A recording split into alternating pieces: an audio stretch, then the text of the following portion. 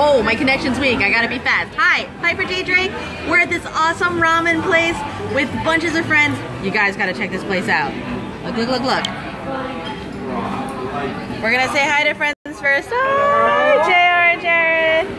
Also, my guy. and he's got super spicy ramen. What kind of ramen did you get?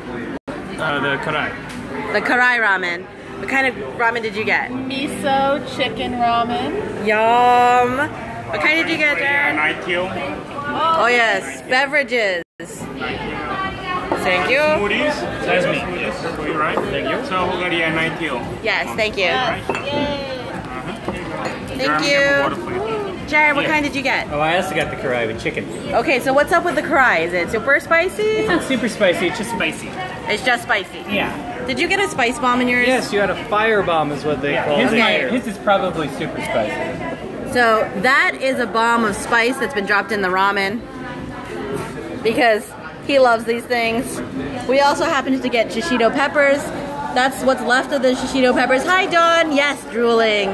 The shishito peppers, as they're described in the menu over here, guys, the shishito peppers. What we loved about it is that one and eight is spicy, so it's like spicy roulette going on with eating these. So Matt got it on the first one. I know. I nailed it for the rest of us. Yeah, Matt took the hit with the spicy pepper, so the rest of us were all safe. And we're having a good time. Having a great time. All the yum. Oh, hi, Pip. Now you want ramen. We love you. We're thinking of you. And this place, you guys, look how pretty. Now, here's the thing about this place that I had fun with as soon as we walked into the door. There's an Iron Man suit up at the front, and it's not just your average Iron Man suit. Oh, we're going to go see the Iron Man suit. Yeah, show Oh gosh, You can't just talk we're about going. Look at this. We're going. Oh. All right. We're walking. We're walking. We're walking. I'm gonna flip the camera so you can see the stuff. Look, we have people cooking ramen. Ah.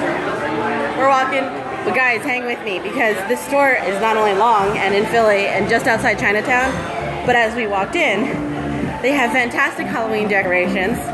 And they have not only the regular Iron Man suit, but what kind of Iron Man suit is this, guys? The Hulk Smasher, Just for size. Here we go. Yes. So this ramen place is kick butt. It smells so good. It's got your usual ramen bar. And it's got a lot of seating. All right, we're out. I've got ramen to eat and, you know, it's time. Bye-bye.